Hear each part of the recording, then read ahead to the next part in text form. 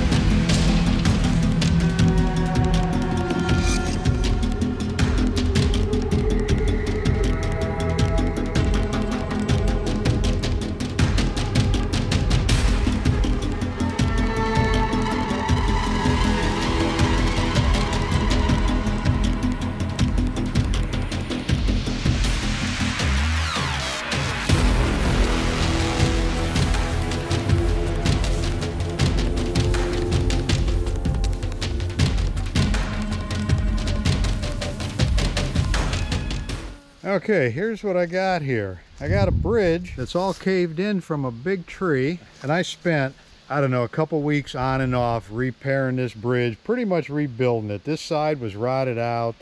Uh, this treated lumber doesn't last like it used to. I built this bridge 11 years ago, and actually the creek was moving over this way and starting to wash out underneath it. I supported the bridge up, built a temporary wall down in the creek bed, raised the bridge up on it, and I poured a concrete retaining wall underneath here. And then I poured a concrete cap for all this stuff to sit on, and I raised it up a little more. We get some big rains down here, and this would be underwater.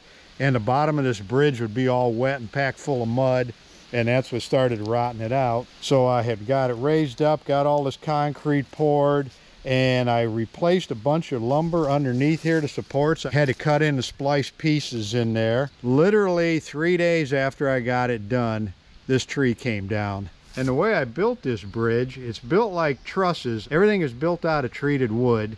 And I built all these trusses in my barn.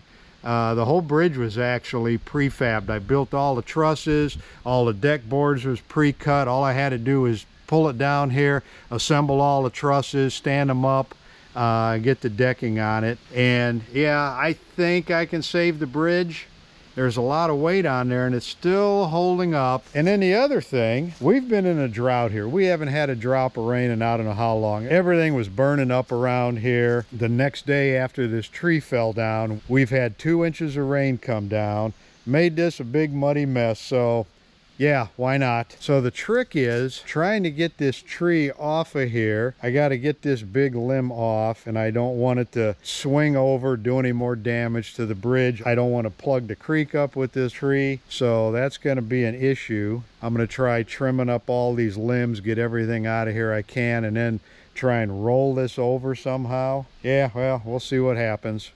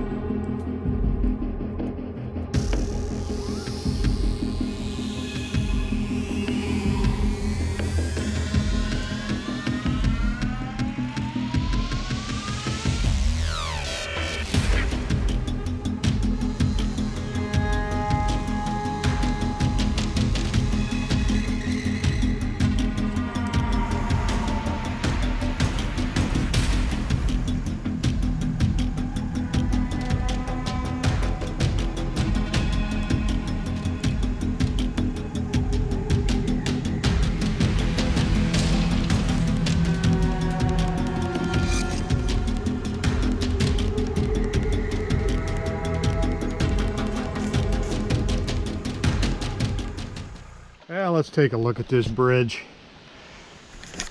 I'd put these gussets on here a few years ago because the ends of the trusses started rotting out.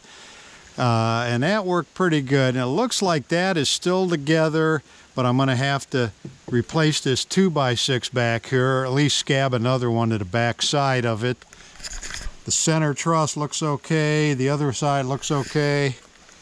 And I think I'll have to replace most of these boards down here and then this ridge board. I parked the mini truck right there and so I had all my tools here and I'm looking at this tree and I'm thinking one day that thing's gonna come down. So it was literally three days later. I'm gonna work on getting these logs out of the creek and I'll let this mud dry up and I'll end up repairing this bridge sometime this summer.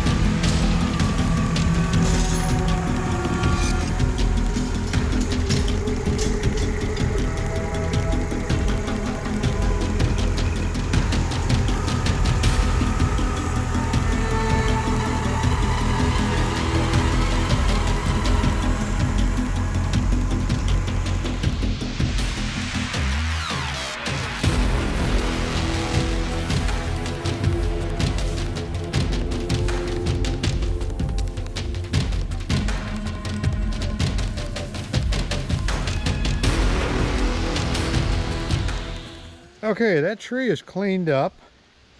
There's one log left over there, and I'm going to leave that thing. It's pretty big, and I'm 65 years old. That's enough work for a senior citizen today. I'm going to let this mud dry out. That's going to be a while. It's pretty soupy down here.